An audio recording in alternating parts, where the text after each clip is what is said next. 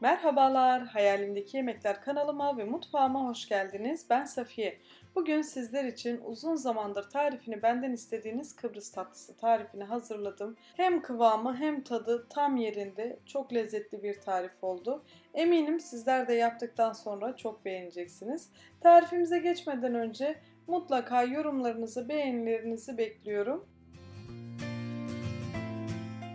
Şimdi gelin bütün ayrıntılarıyla Kıbrıs tatlısını nasıl hazırlamışım hep beraber izleyelim.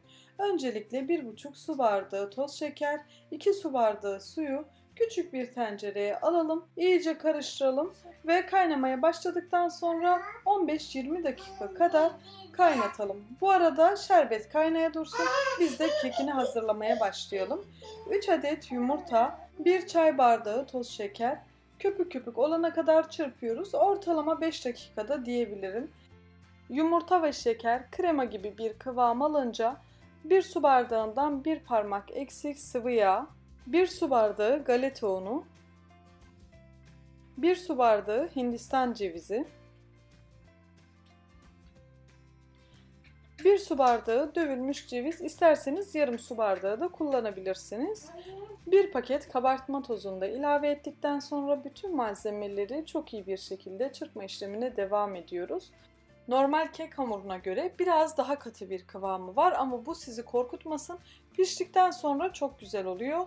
Hazırlamış olduğumuz kek harcını orta boy borcama veya kare bir borcama alalım ve güzelce e, borcamın her tarafına gelecek şekilde düzeltelim. Özellikle kek yapışkan bir kıvamda olduğu için sürekli kaşığınıza veya spatulanıza yapışacaktır. Ben bunun da e, şöyle bir yöntemini buldum. Üzerine kaşığın üzerine çok hafif sıvı yağ gezdiriyorum. Daha sonra güzel bir şekilde düzlemiş oluyorum. Bakın şöyle çok küçük bir iki damla kaşığın üzerine gezdirdikten sonra tekrar hamurun üzerini düzeltiyorum. Normalde e, birçok tarife baktığımda bazen hani olduğu gibi de pişirenler var ama ben birazcık daha düzgün görünsün istiyorum. Kıbrıs tatlımızı önceden ısıtılmış 160 derece fırında yaklaşık 30 dakika kadar pişiriyorum. Bu arada kaynayan şerbeti son bir kez daha kontrol ettikten sonra üzerine bir paket şekerli vanilini ilave edip iyice karıştırıyorum ve artık ocaktan alıyorum. Yaklaşık 20 dakika gibi bir sürede kaynamış oldu. Ocağın altını kısmıştım. Şu an e, son aşamasında olduğu için son bir kez daha harlı ateşe aldım. Ve güzelce şekerli vanilya eridikten sonra ocağın altını kapatıyorum. Bir kenarda soğumaya bırakıyorum. 30 dakikanın sonunda kekim çok güzel bir şekilde pişti. Her fırına göre pişme süresi değişebilir ama çok fazla pişirip kurutmayın. Fırından çıkan sıcak kekin ilk sıcaklığı çıktıktan sonra soğuk veya ılık olan şerbeti üzerine döküyorum. Kekim yaklaşık 5 dakika gibi bir süre oldu fırından çıkalı. Bütün şerbeti kekin her tarafına gelecek şekilde döküyorum. Kekimiz şerbetini çekerken biz de kremasını hazırlamaya başlayalım. Kreması için 1 litre süt yani 5 su bardağı, 2 yemek kaşığı un, 3 yemek kaşığı nişasta,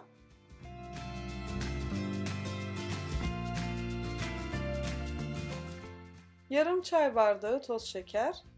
Bütün malzemelerin hepsini topaklanma kalmayana kadar iyice çırpıyoruz. Tabi çırpma işlemi sırasında ocağın altı kapalı.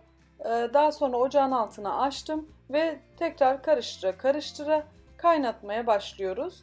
Muhallebimiz koyu bir kıvam alıp kaynamaya başladıktan sonra ocaktan alıp ılımaya bırakalım. Eğer kekiniz fırında pişerken kremasını da hazırlarsanız çok daha hızlı bir şekilde yapmış olursunuz. Benim acelem olmadığı için şerbeti döktükten sonra kremasını hazırladım ve krema ılık olduktan sonra Mikserle biraz karıştırdım. Daha sonra üzerine bir poşet krem şanti ilave ettim. Mikserle önceden biraz çırpmamın sebebi üzerine krem şanti ilave ettiğimizde çok çabuk toparlansın diye. Çünkü krema soğuduğu zaman üzeri kabuk tutacaktır ve krem şantiyi ilave edip hemen çırpmaya başlarsanız onun tozları böyle havada uçuşacaktır. Kremamızı çok iyi bir şekilde çırptım. Artık kekimizin üzerine dökme zamanı geldi. Kremayı da kekin üzerine döktükten sonra düzgün bir şekilde düzeltiyoruz.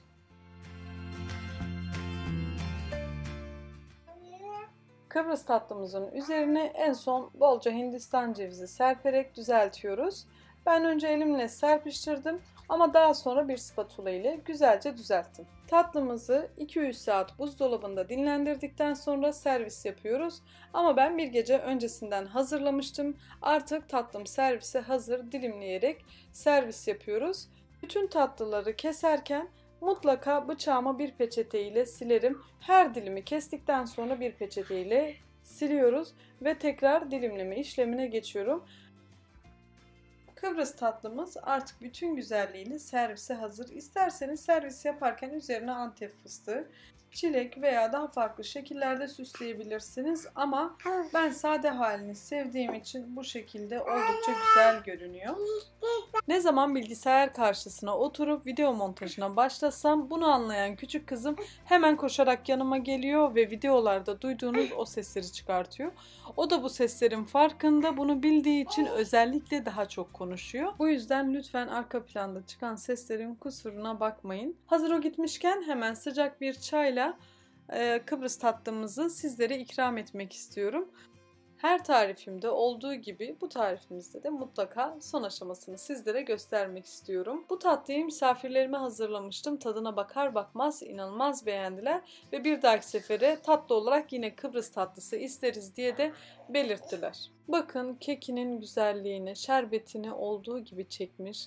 Kreması kaymak tadında oldu. Mutlaka tavsiye ederim. Eğer kanalıma abone değilseniz bu videodan sonra abone olmayı unutmayın. Mutlaka yorumlarınızı da bekliyorum. Bir sonraki tarifte tekrar görüşmek üzere. Kendinize çok iyi bakın. Sevgiyle kalın. Allah'a emanet olun.